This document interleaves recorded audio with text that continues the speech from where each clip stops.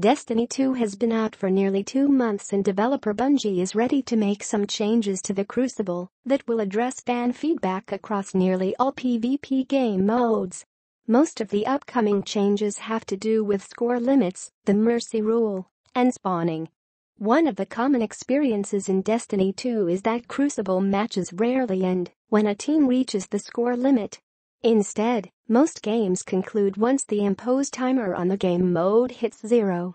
Bungie is looking to make those score limits a bit easier to achieve instead of having games go to full time. Here are the adjustments coming to each mode. Clash score limit reduced from 75 to 50. Control score limit reduced from 100 to 90.